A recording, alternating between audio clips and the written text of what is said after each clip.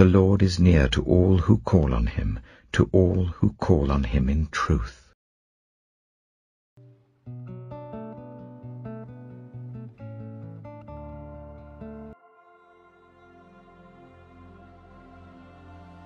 Two Chronicles chapter 9 When the Queen of Sheba heard of Solomon's fame, she came to Jerusalem to test him with hard questions. Arriving with a very great caravan, with camels carrying spices, large quantities of gold and precious stones, she came to Solomon and talked with him about all she had on her mind. Solomon answered all her questions. Nothing was too hard for him to explain to her. When the Queen of Sheba saw the wisdom of Solomon, as well as the palace he had built, the food on his table, the seating of his officials, the attending servants in their robes, the cupbearers in their robes, and the burnt offerings he made at the temple of the Lord, she was overwhelmed. She said to the king, The report I heard in my own country about your achievements and your wisdom is true. But I did not believe what they said until I came and saw with my own eyes. Indeed, not even half the greatness of your wisdom was told me. You have far exceeded the report I heard. How happy your people must be. How happy your officials, who continually stand before you and hear your wisdom. Praise be to the Lord your God, who has delighted in you and placed you on his throne as king to rule for the Lord your God. Because of the love of your God for Israel and his desire to uphold them forever, he has made you king over them to maintain justice and righteousness. Then she gave the king a hundred and twenty talents of gold, large quantities of spices and precious stones. There had never been such spices as those the Queen of Sheba gave to King Solomon. The servants of Hiram and the servants of Solomon brought gold from Ophir. They also brought algum wood and precious stones, the king used the algum wood to make steps for the temple of the Lord and for the royal palace, and to make harps and lyres for the musicians. Nothing like them had ever been seen in Judah. King Solomon gave the queen of Sheba all she desired and asked for. He gave her more than she had brought to him. Then she left and returned with her retinue to her own country. The weight of the gold that Solomon received yearly was 666 talents, not including the revenues brought in by merchants and traders. Also, all the kings of Arabia and the governors of the territories brought gold and silver to Solomon. King Solomon made 200 large shields of hammered gold. 600 shekels of hammered gold went into each shield. He also made 300 small shields of hammered gold, with 300 shekels of gold in each shield. The king put them in the palace of the forest of Lebanon. Then the king made a great throne covered with ivory and overlaid with pure gold. The throne had six steps, and a footstool of gold was attached to it. On both sides of the seat were armrests, with a lion standing beside each of them. Twelve lions stood on the six steps, one at either end of each step. Nothing like it had ever been made for any other kingdom. All King Solomon's goblets were gold, and all the household articles in the palace of the forest of Lebanon were pure gold. Nothing was made of silver, because silver was considered of little value in Solomon's day. The king had a fleet of trading ships, manned by Hiram's servants. Once every three years it returned, carrying gold, silver, and ivory, and apes and baboons. King Solomon was greater in riches and wisdom than all the other kings of the earth. All the kings of the earth sought audience with Solomon to hear the wisdom God had put in his heart. Year after year, everyone who came brought a gift, articles of silver and gold, and robes, weapons, and spices, and horses and mules. Solomon had four thousand stalls for horses and chariots, and twelve thousand horses, which he had cities, and also with him in Jerusalem. He ruled over all the kings from the river Euphrates to the land of the Philistines, as far as the border of Egypt. The king made silver as common in Jerusalem as stones, and cedar as plentiful as sycamore fig trees in the foothills. Solomon's horses were imported from Egypt and from all other countries.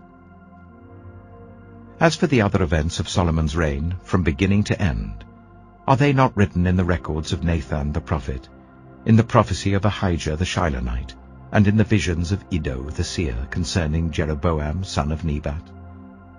Solomon reigned in Jerusalem over all Israel for forty years. Then he rested with his ancestors and was buried in the city of David his father. And Rehoboam his son succeeded him as king. 2 Chronicles chapter 10 Rehoboam went to Shechem, for all Israel had gone there to make him king. When Jeroboam son of Nebat heard this, he was in Egypt where he had fled from King Solomon. He returned from Egypt. So they sent for Jeroboam. And he and all Israel went to Rehoboam and said to him, Your father put a heavy yoke on us, but now lighten the harsh labor and the heavy yoke he put on us, and we will serve you. Rehoboam answered, Come back to me in three days. So the people went away. Then King Rehoboam consulted the elders who had served his father Solomon during his lifetime. How would you advise me to answer these people, he asked. They replied, If you will be kind to these people and please them and give them a favorable answer, they will always be your servants. But Rehoboam rejected the advice the elders gave him and consulted the young men who had grown up with him and who were serving him. He asked them, What is your advice? How should we answer these people who say to me, Lighten the yoke your father put on us? The young men who had grown up with him replied, The people have said to you, Your father put a heavy yoke on us, but make our yoke lighter. Now tell them, my little finger is thicker than my father's waist. My father laid on you a heavy yoke. I will make it even heavier. My father scourged you with whips. I will scourge you with scorpions.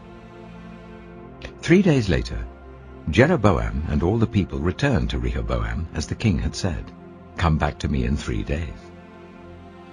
The king answered them harshly, rejecting the advice of the elders. He followed the advice of the young men and said, My father made your yoke heavy. I will make it even heavier. My father scourged you with whips. I will scourge you with scorpions. So the king did not listen to the people. For this turn of events was from God, to fulfill the word that the Lord had spoken to Jeroboam son of Nebat through Ahijah the Shilonite. When all Israel saw that the king refused to listen to them, they answered the king, what share do we have in David? What part in Jesse's son? To your tents, Israel. Look after your own house, David. So all the Israelites went home. But as for the Israelites who were living in the towns of Judah, Rehoboam still ruled over them. King Rehoboam sent out Adoniram, who was in charge of forced labor. But the Israelites stoned him to death. King Rehoboam, however, managed to get into his chariot and escape to Jerusalem. So Israel has been in rebellion against the house of David to this day. 2 Chronicles chapter 11 When Rehoboam arrived in Jerusalem, he mustered Judah and Benjamin, hundred and eighty thousand able young men, to go to war against Israel and to regain the kingdom for Rehoboam. But this word of the Lord came to Shemaiah the man of God. Say to Rehoboam, son of Solomon, king of Judah, and to all Israel in Judah and Benjamin, this is what the Lord says. Do not go up to fight against your fellow Israelites. Go home, every one of you, for this is my doing. So they obeyed the words of the Lord, and turned back from marching against Jeroboam.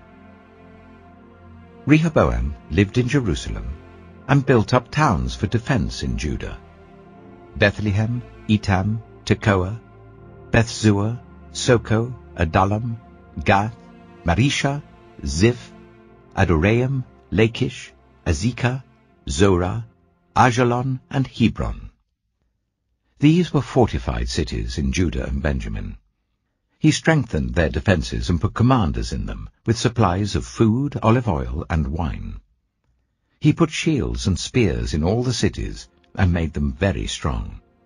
So Judah and Benjamin were his.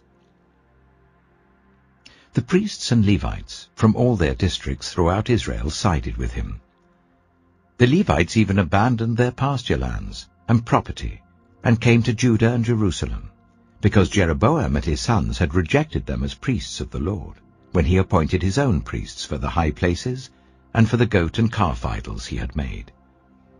Those from every tribe of Israel, who set their hearts on seeking the Lord, the God of Israel, followed the Levites to Jerusalem to offer sacrifices to the Lord, the God of their ancestors.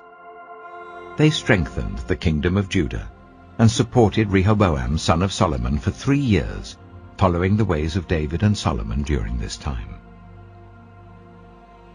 Rehoboam married Mahalath, who was the daughter of David's son Jerimoth, and Abihail, the daughter of Jesse's son Eliab. She bore him sons, Jeush, Shemariah, and Zaham. Then he married Maacah, daughter of Absalom, who bore him Abijah, Attai, Ziza, and Shelomith. Rehoboam loved Maacah, daughter of Absalom, more than any of his other wives and concubines. In all, he had eighteen wives and sixty concubines, twenty-eight sons, and sixty daughters. Rehoboam appointed Abijah, son of Maacah, as crown prince among his brothers, in order to make him king. He acted wisely, dispersing some of his sons throughout the districts of Judah and Benjamin, and to all the fortified cities.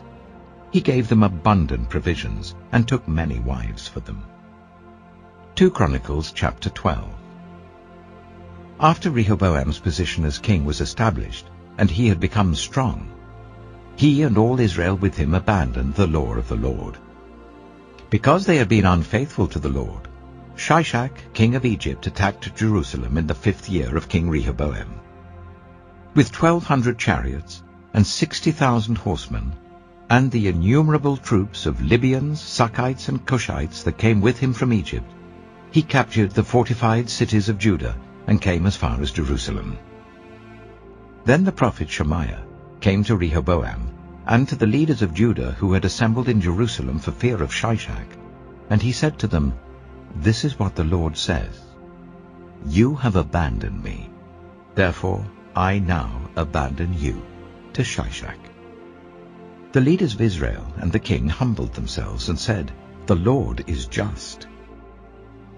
When the Lord saw that they humbled themselves, this word of the Lord came to Shemaiah. Since they have humbled themselves, I will not destroy them, but will soon give them deliverance. My wrath will not be poured out on Jerusalem through Shishak. They will, however, become subject to him, so that they may learn the difference between serving me and serving the kings of other lands. When Shishak, king of Egypt, attacked Jerusalem, he carried off the treasures of the temple of the Lord and the treasures of the royal palace. He took everything, all shields that Solomon had made.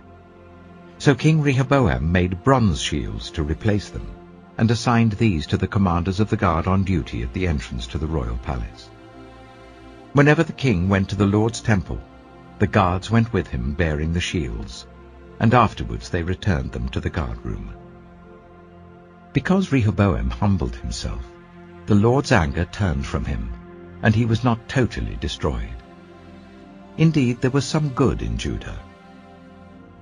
King Rehoboam established himself firmly in Jerusalem and continued as king. He was forty-one years old when he became king, and he reigned for seventeen years in Jerusalem, the city the Lord had chosen out of all the tribes of Israel in which to put his name. His mother's name was Naamah. She was an Ammonite. He did evil because he had not set his heart on seeking the Lord. As for the events of Rehoboam's reign from beginning to end, are they not written in the records of Shemaiah the prophet and of Iddo the seer that deal with the genealogies? There was continual warfare between Rehoboam and Jeroboam. Rehoboam rested with his ancestors and was buried in the city of David. And Abijah his son succeeded him as king. Finally, brothers and sisters, whatever is true, whatever is noble, whatever is right, whatever is pure, whatever is lovely, whatever is admirable, if anything is excellent or praiseworthy, think about such things.